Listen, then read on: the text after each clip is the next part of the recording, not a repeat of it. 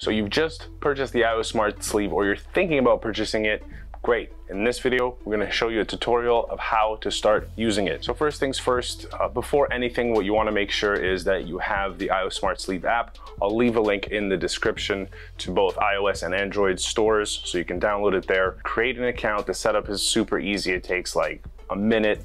So go ahead and do that. So once you've done that, you're gonna get this box here. So first things first, on the box is gonna be some information regarding the size, the color, uh, your name, the date that it was uh, cleared by our inspection team, and also the link where you can get the manual. So you're gonna get the box. First things first, you're gonna see the device, okay? And right on the device, you're gonna see full charge before use is required. Okay, so the device actually comes, uh, doesn't come fully charged. Uh, it's always on. So you're just gonna wanna make sure that you plug it in and give it a charge. That's the device. Then we open up this portion and get the AIO Smart Sleeve. And right on the package, you're gonna see it says sleeve is not refundable once open. That's obviously for sanitary reasons. Same reason you wouldn't return underwear, right? Or you can't. You may try to, but Anyway, then you have the charger. This is a USB, simple, can plug into your laptop or, you know, pretty much every single phone comes with an adapter, a wall adapter that you can use it. So very convenient. You get the connector clip. This is for the electrocardiogram and uh, HRV, which we'll show you later. And then finally, two electrodes. Uh, you'll only use one. The second one is a spare. Once the other one is no good, each one, depending on your use, can be up to 50 to 75 times. So that just depends on use. So like I said, first things first, you're gonna wanna make sure the device is charged. Luckily I have charger plugged in here, handy. So you'll see on the back of the device, you'll see little holes there. They will connect to the holes on the charger. These are magnetic. You just touch, you'll hear a click, and this light will turn orange. Once it's fully charged, that light is going to turn green, okay? So once it turns green, great, you're ready to use it. Another thing I would just recommend is to restart the device before you're using it. Another great tip here is when in doubt, restart the device. If you're experiencing issues of some sorts, that's usually the best first troubleshoot. So go ahead and do that. I'll show you how to do this. So let's look at the device this way, right? So with the two buttons on the top uh, facing up, I guess from this camera view. Now to restart, you'll see two buttons on the side, very small buttons. What you're gonna wanna do is hold the one on the bottom right. As we hold it, that light will go out. You see that? And then it'll come back on. Okay, so that's good. We just did a little brief restart and now we're gonna connect to the app. Hopefully you can see this in the camera. If not, uh, I will do a screen recording of uh, of the app and put it on the side. We'll, we'll show you the device here. So the other button, so we just hit the restart. The button on the other side is the Bluetooth Scan Connect button. This is gonna make the device discoverable in the Bluetooth settings on our app. Uh, another thing, the Bluetooth connection happens through our app. So it doesn't happen through your phone settings, whether it's iPhone or Android okay? And uh, it makes the process a little bit easier, makes your Bluetooth device settings a little less convoluted. So that's why we go onto the app. So now we know what this button does. Now the button on the other side is the uh, Scan Connect button. So this is gonna make the device discoverable on the phone. So you click it, that light will turn orange. That means it is scanning. Then on the app, you just go into Scan Connect you should see that device pop up. That's the Brighton HR. You hit connect and you'll see that light turn green, right? So the light turn, turns green, that means it's connected. Now we can go back, you'll see all the options now are available. So before we even use the sleeve, I just want you to familiarize yourself with the device and you go into the BPM. So before we do that, there's three modes that you'll see, right? two main modes. First one is activity mode, which is under BPM. And the second one is health mode, which is under this ECG HRV button on the app. So first of all, we go into the BPM mode, that's the active mode, and simply hit start. And before you do that, you'll see on the reverse side, once you hit start, the sensors will start blinking, right? So you'll see the light flash, that's the optical sensor for the BPM, okay? So just simply give it a test, okay? So hit start, you'll see a little loading icon and just give it some time. I mean, this could take uh, a bit of time here. It turns out uh, it was fairly fast. You'll see my BPM there. Uh, it's fairly hot, high.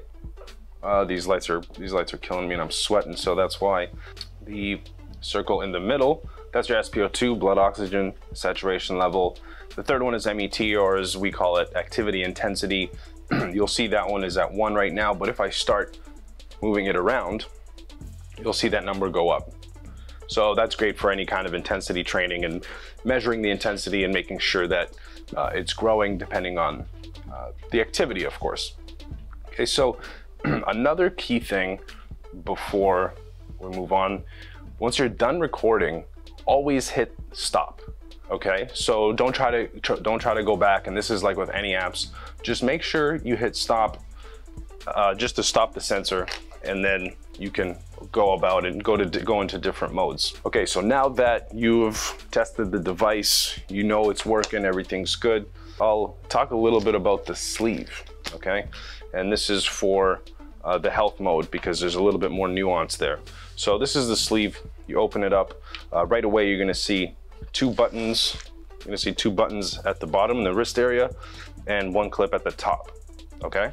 Now this inside, you'll see this strip. And on the inside, we actually have a connected wire, okay? And this is a very unique wire that's made up of silver and Kevlar. And you wanna make sure to be very careful when putting the sleeve on. Try not to pull it uh, because it is sensitive material. It's fine once you have it on and you're sweating, you're working out, or you're doing whatever you're doing, it's fine. Just when putting it on and stretching it out, uh, be very careful be mindful of that. Now, when putting the device in, it's very important how you actually place it inside the sleeve. Now, for activity mode, it's not that big of a deal. You can pretty much place it anywhere because it's just an optical sensor and usually that can take it from anywhere. You've seen other wearables, whether it's rings or a headband. You can get a BPM from anywhere, anywhere using the optical sensor, but with the ECG, this is very important. So you need to know that this this button, this click, this magnetic button is connecting to this wire that's connecting to the top. Okay, and now when we look at the device, we grab it like this again, notice that the top right clip here, that's an actual electrode, okay? This is just a dummy button to hold it in place inside the sleeve, so it's useless. So you wanna make sure that this button lines up with this, okay? And in this, it has to go in like so on the inside, exactly like this. So if I show it, this is how it goes in and you'll just find it usually clips on pretty easily, just like that, okay? So then when you're actually putting it on, if we look at the reverse side, this part is hitting your skin and these two are, are connected inside, okay? So that's very important. You wanna make sure you know what the device is about, right? So again, actual electrode, dummy button, and then the electrode on the reverse side that's gonna be attached to your skin. Now for the second part, you have to attach the electrode to your chest. So we're gonna move over to the mannequin and I'm gonna show you. Okay, so now for probably the easiest part of this tutorial is gonna be the electrode placement. And uh, we have Ivan here to demonstrate. Uh, sorry, I had to do this to you, buddy but uh, he's here uh, under his own volition, don't worry. Uh, so we have the device placed in the wrist area, right, like we explained before, and it's connected. The other uh, connectors at the top, right? We talked about that as well. And now the electrodes that I mentioned early on, you're just gonna peel it off and you're gonna wanna stick it in this area here. Pretty simple, kind of right there, that's pretty good. And then you're gonna take the connector clip and you're gonna just connect one onto the sleeve, and one onto the chest. Very easy.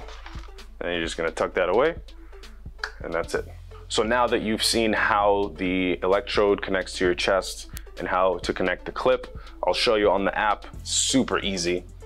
Okay, so now that everything's in place, you got it on the wrist, you got the electrode attached, you simply go into the ECG HRV screen and just hit start. Uh, this acquiring a signal here takes very quick and here you can see uh, this is actually I'm wearing this now. Beautiful a beautiful ECG right there. I'll try to show on the camera it's going to be on the side here too. So you have that. Uh, it's going to give you your BPM here on the left your HRV in the middle uh, again MET on the other side you want to make sure that you're sitting still for the next portion, which is the HRV. So to take the HRV, you'll see the button in the middle. So you simply click, uh, you have to make sure you stay still during the HRV test. It takes two minutes because I'll show you right now what happens to the ECG if I'm moving around. You'll still see the ECG there, but it's not gonna be able to actually extract an HRV because it's looking at those peaks. So let's hit the HRV button. It says, are you sure you want to try an HRV test for two minutes? Just say okay. Two minutes, so you just wait.